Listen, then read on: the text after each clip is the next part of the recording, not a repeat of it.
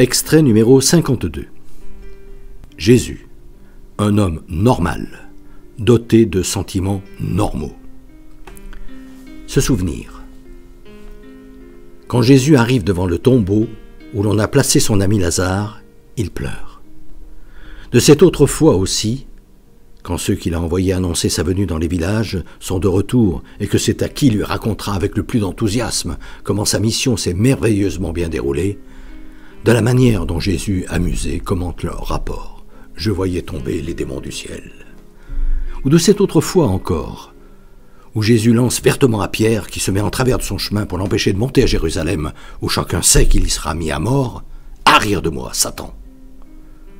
Quand aujourd'hui me vient l'idée de lire dans le même esprit sa réflexion choquante, et d'autant plus choquante qu'elle n'est pas en harmonie avec le personnage d'une humanité rare qu'était Jésus, quand Marie et ses frères viennent le voir.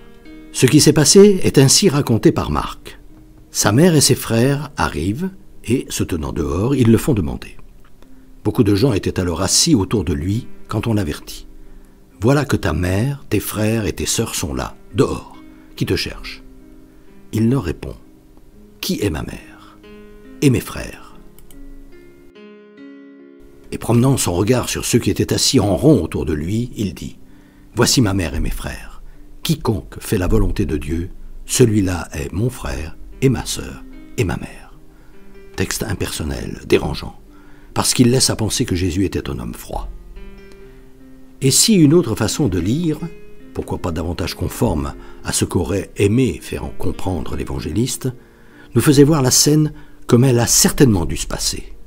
Jésus, ta mère et tes frères sont là dehors, qui te demandent alors Jésus se lève, et tandis qu'il se met debout au milieu de ceux qui sont assis autour de lui, il leur dit en souriant, Ma mère, mes frères, mes sœurs, ce sont celles et ceux qui font la volonté de Dieu.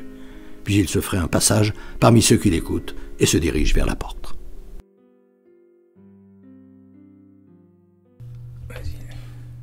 Depuis des années, environ une fois par mois, j'envoie une lettre d'information spirituelle à tout mon carnet d'adresses.